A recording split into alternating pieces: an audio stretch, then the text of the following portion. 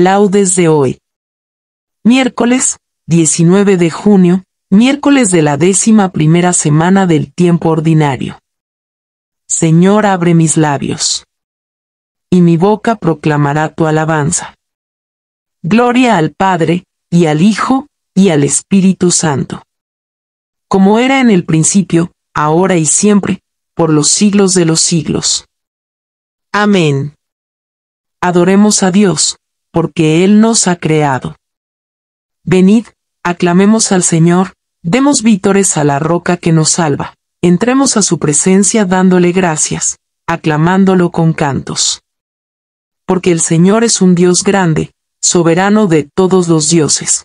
Tiene en su mano las cimas de la tierra, son suyas las cumbres de los montes, suyo es el mar, porque Él lo hizo, la tierra firme que modelaron sus manos. Venid, postrémonos por tierra, bendiciendo al Señor, Creador nuestro. Porque Él es nuestro Dios, y nosotros su pueblo, el rebaño que Él guía. Ojalá escuchéis hoy su voz, no endurezcáis el corazón como en Meribá, como el día de Masá en el desierto, cuando vuestros padres me pusieron a prueba y dudaron de mí, aunque habían visto mis obras. Durante cuarenta años aquella generación me repugnó, y dije, es un pueblo de corazón extraviado, que no reconoce mi camino, por eso he jurado en mi cólera que no entrarán en mi descanso. Gloria al Padre, y al Hijo, y al Espíritu Santo. Como era en el principio, ahora y siempre, por los siglos de los siglos. Amén. Adoremos a Dios, porque Él nos ha creado. Detente, aurora de este nuevo día, refleja en mis pupilas tu paisaje. Mensajera de amor, es tu equipaje la hermosura hecha luz y profecía. Detente, aurora, dulce epifanía, rostro de Dios, qué bello es tu mensaje. Queme tu amor mi amor que va de viaje en lucha, y en trabajo y alegría. Avanzamos, corremos fatigados, mañana tras mañana enfebrecidos por la carga de todos los pecados. Arrópanos, Señor, con la esperanza, endereza, Señor, los pies perdidos, y recibe esta aurora de alabanza. Amén. Alegra el alma de tu siervo, pues levanto mi alma hacia ti, Señor. Inclina tu oído, Señor, escúchame, que soy un pobre desamparado, protege mi vida, que soy un fiel tuyo, salva a tu siervo, que confía en ti. Tú eres mi Dios, piedad de mí, Señor, que a ti te estoy llamando todo el día. Alegra el alma de tu siervo, pues levanto mi alma hacia ti. Porque tú, Señor, eres bueno y clemente, rico en misericordia con los que te invocan. Señor, escucha mi oración, atiende a la voz de mi súplica. En el día del peligro te llamo, y tú me escuchas. No tienes igual entre los dioses, Señor, ni hay obras como las tuyas. Todos los pueblos vendrán a postrarse en tu presencia, Señor, bendecirán tu nombre, grande eres tú, y haces maravillas, tú eres el único Dios. Enséñame, Señor, tu camino, para que siga tu verdad, mantén mi corazón entero en el temor de tu nombre. Te alabaré de todo corazón, Dios mío, Daré gloria a tu nombre por siempre, por tu grande piedad para conmigo, porque me salvaste del abismo profundo. Dios mío, unos soberbios se levantan contra mí, una banda de insolentes atenta contra mi vida, sin tenerte en cuenta a ti. Pero tú, Señor, Dios clemente y misericordioso, lento a la cólera, rico en piedad y leal, mírame, ten compasión de mí.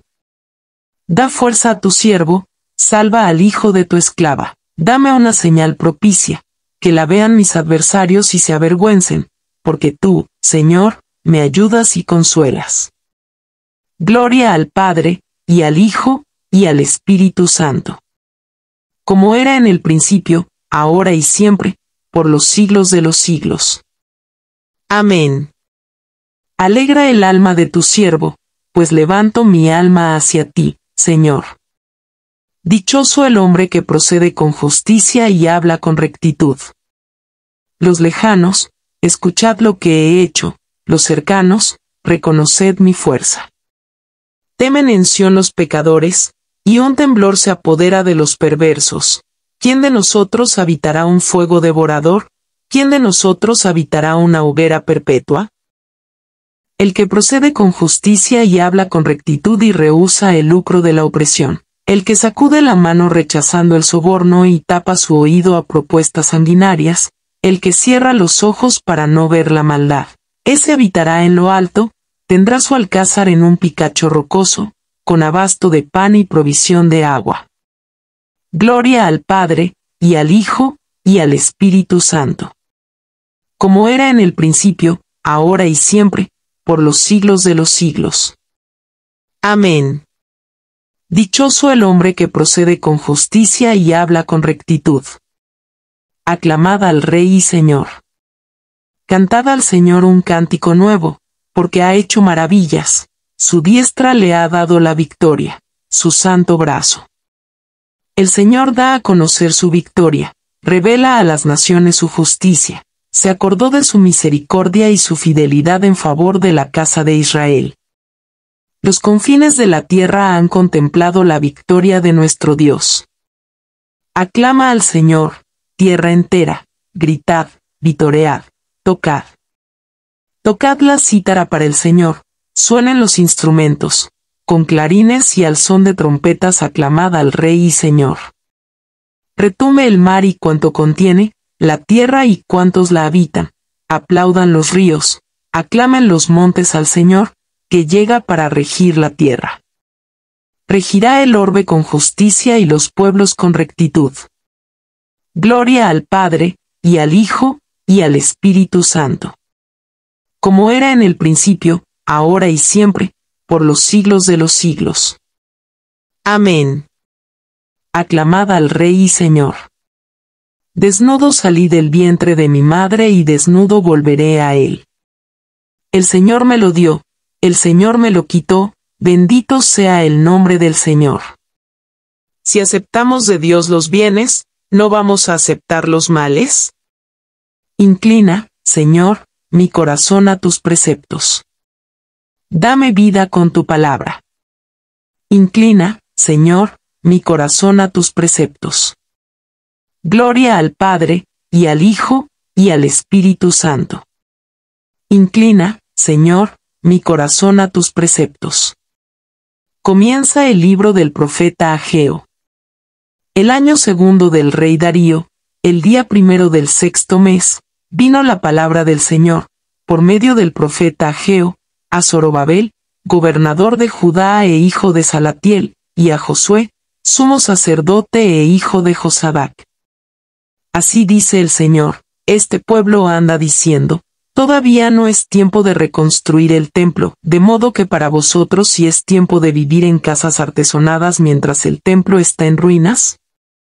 Pues ahora, dice el Señor de los ejércitos, meditad vuestra situación, sembrasteis mucho y cosechasteis poco, comisteis sin saciaros, bebisteis sin apagar la sed, os vestisteis sin abrigaros y el que trabaja a sueldo recibe la paga en bolsa rota. Así dice el Señor, meditad en vuestra situación, subid al monte, traed madera, construid el templo, yo lo aceptaré gustoso y mostraré en él mi gloria, dice el Señor. Emprendisteis mucho y resultó poco, metisteis en casa y lo aventé. ¿Por qué? Dice el Señor de los ejércitos a causa de mi templo que está en ruinas, mientras cada cual disfruta de su casa.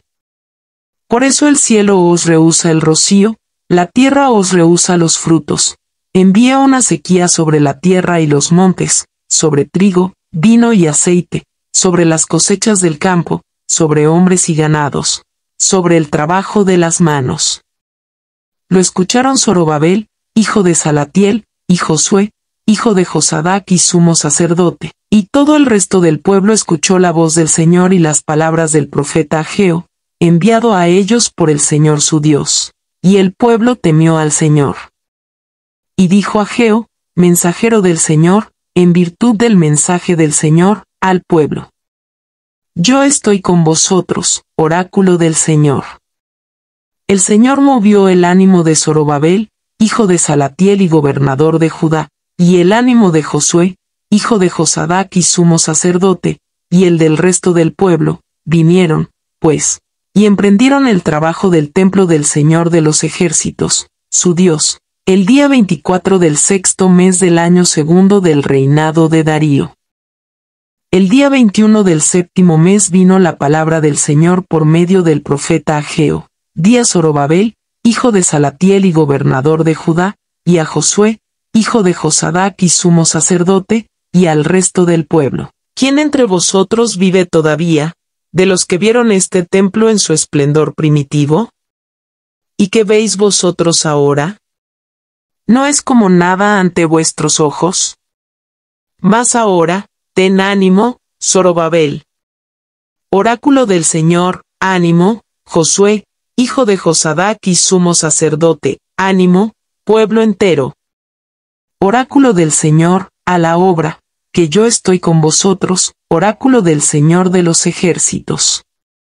La palabra pactada con vosotros cuando salíais de Egipto y mi espíritu habitan con vosotros, no temáis. Así dice el Señor, todavía un poco más, y agitaré cielo y tierra, mar y continentes, pondré en movimiento los pueblos, vendrán las riquezas de todo el mundo y llenaré de gloria este templo, dice el Señor de los ejércitos. Mía es la plata y mío es el oro, dice el Señor de los ejércitos.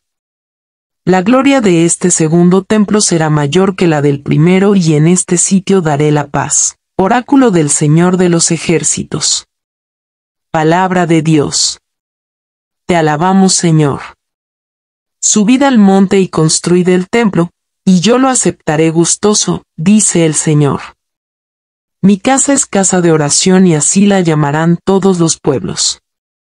Y yo lo aceptaré gustoso, dice el Señor. Del Tratado de San Cipriano, obispo y mártir, sobre la oración del Señor. Prosigue la oración que comentamos. Venga tu reino. Pedimos que se haga presente en nosotros el reino de Dios, del mismo modo que suplicamos que su nombre sea santificado en nosotros. Porque no hay un solo momento en que Dios deje de reinar, ni puede empezar lo que siempre ha sido y nunca dejará de ser. Pedimos a Dios que venga a nosotros nuestro reino que tenemos prometido, el que Cristo nos ganó con su sangre y su pasión, para que nosotros, que antes servimos al mundo, tengamos después parte en el reino de Cristo, como Él nos ha prometido, con aquellas palabras, Venid, benditos de mi Padre, a tomar posesión del reino que está preparado para vosotros desde la creación del mundo. También podemos entender, hermanos muy amados, este reino de Dios, cuya venida deseamos cada día, en el sentido de la misma persona de Cristo, cuyo próximo advenimiento es también objeto de nuestros deseos. Él es la resurrección, ya que en él resucitaremos, y por esto podemos identificar el reino de Dios con su persona, ya que en él hemos de reinar. Con razón, pues, pedimos el reino de Dios, esto es, el reino celestial, porque existe también un reino terrestre pero el que ya ha renunciado al mundo está por encima de los honores y del reino de este mundo. Pedimos a continuación, hágase tu voluntad en la tierra como en el cielo, no en el sentido de que Dios haga lo que quiera, sino de que nosotros seamos capaces de hacer lo que Dios quiere. ¿Quién, en efecto, puede impedir que Dios haga lo que quiere? Pero a nosotros sí que el diablo puede impedirnos nuestra total sumisión a Dios en sentimientos y acciones. Por esto pedimos que se haga en nosotros la voluntad de Dios, y para ello necesitamos de la voluntad de Dios, es decir, de su protección y ayuda, ya que nadie puede confiar en sus propias fuerzas, sino que la seguridad nos viene de la benignidad y misericordia divina. Además, el Señor, dando pruebas de la debilidad humana, que él había asumido, dice, Padre mío, si es posible, que pase este cáliz sin que yo lo beba, y, para dar ejemplo a sus discípulos de que hay que anteponer la voluntad de Dios a la propia, añade, sin embargo, no se haga mi voluntad, sino la tuya. La voluntad de Dios es la que Cristo cumplió y enseñó.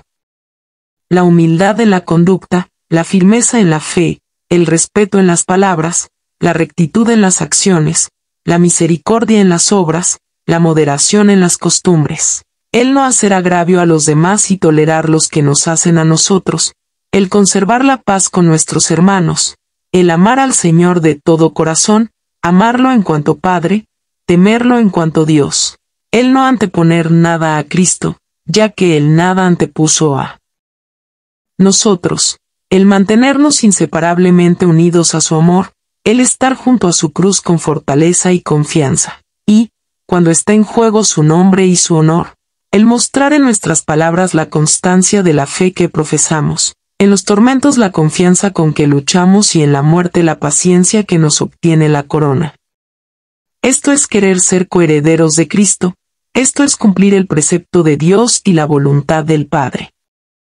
Del Tratado de San Cipriano, obispo y mártir, sobre la oración del Señor. El que cumpla la voluntad de mi Padre Celestial, ese entrará en el reino de los cielos. El que hace la voluntad de Dios es mi hermano y mi hermana y mi madre. Ese entrará en el reino de los cielos. Del Santo Evangelio según San Mateo. En aquel tiempo, dijo Jesús a sus discípulos. Cuidad de no practicar vuestra justicia delante de los hombres para ser vistos por ellos. De lo contrario no tenéis recompensa de vuestro Padre Celestial. Por tanto, cuando hagas limosna, no mandes tocar la trompeta ante ti, como hacen los hipócritas en las sinagogas y por las calles para ser honrados por la gente. En verdad os digo que ya han recibido su recompensa. Tú, en cambio, cuando hagas limosna, que no sepa tu mano izquierda lo que hace tu derecha, así tu limosna quedará en secreto y tu Padre, que ve en lo secreto, te recompensará. Cuando oréis, no seáis como los hipócritas, a quienes les gusta orar de pie en las sinagogas y en las esquinas de las plazas, para que los vean los hombres. En verdad os digo que ya han recibido su recompensa. Tú, en cambio, cuando ores, entra en tu cuarto, cierra la puerta y ora a tu Padre, que está en lo secreto, y tu Padre, que ve en lo secreto, te lo recompensará. Cuando ayunéis, no pongáis cara triste, como los hipócritas que desfiguran sus rostros para hacer ver a los hombres que ayunan. En verdad os digo que ya han recibido su paga. Tú, en cambio, cuando ayunes, perfúmate la cabeza y lávate la cara, para que tu ayuno lo naut, no los hombres, sino tu Padre, que está en lo escondido, y tu Padre, que ve en lo escondido, te recompensará. Palabra del Señor. Gloria a ti Señor Jesús. Realiza, Señor, con nosotros la misericordia y recuerda tu santa alianza. Bendito sea el Señor, Dios de Israel, porque ha visitado y redimido a su pueblo. Suscitándonos una fuerza de salvación en la casa de David, su siervo, según lo había predicho desde antiguo por boca de sus santos profetas es la salvación que nos libra de nuestros enemigos y de la mano de todos los que nos odian. Ha realizado así la misericordia que tuvo con nuestros padres, recordando su santa alianza y el juramento que juró a nuestro padre Abraham. Para concedernos que, libres de temor, arrancados de la mano de los enemigos, le sirvamos con santidad y justicia, en su presencia, todos nuestros días. Y a ti, niño, te llamarán profeta del Altísimo, porque irás delante del Señor a preparar sus caminos, anunciando a su pueblo la salvación, el perdón de sus pecados. Por la entrañable misericordia de nuestro Dios, nos visitará el sol que nace de lo alto, para iluminar a los que viven en tiniebla y en sombra de muerte, para guiar nuestros pasos por el camino de la paz. Gloria al Padre, y al Hijo, y al Espíritu Santo como era en el principio, ahora y siempre, por los siglos de los siglos. Amén. Realiza, Señor, con nosotros la misericordia y recuerda tu santa alianza. Invoquemos a Cristo, que se entregó a sí mismo por la Iglesia, y le da alimento y calor, diciendo, Acuérdate, Señor, de tu iglesia. Bendito seas, Señor, pastor de la iglesia, que nos vuelves a dar hoy la luz y la vida, haz que sepamos agradecerte este magnífico don.